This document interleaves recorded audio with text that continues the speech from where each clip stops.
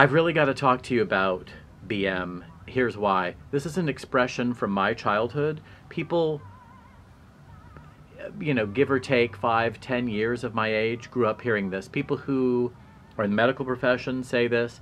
is short for bowel movement. And people my age grew up hearing this all the time.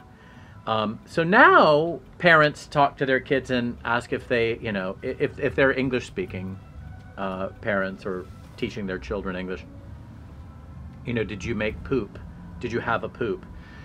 My era heard, did you make BM? Did you have a BM? Do you need to have a BM? Do you think you'll feel better if you've had a BM?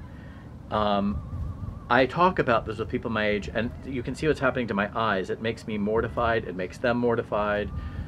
I talked to someone I've known for years who said, Oh, that's exactly what my grandmother used to say to me. She would say, "You're just hyperactive because you haven't had a BM."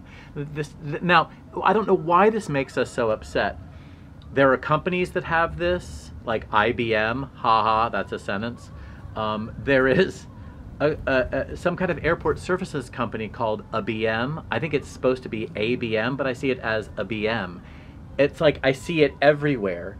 Uh, there was a picture in a city newspaper somewhere that I saw in the last couple months where someone had a BM library and it was the initials of the people. But I'm thinking, what kind of checkouts do you have? And I really want to know about like how long you can check something out from the BM library. This is where my mind is today, and I kind of had to go there.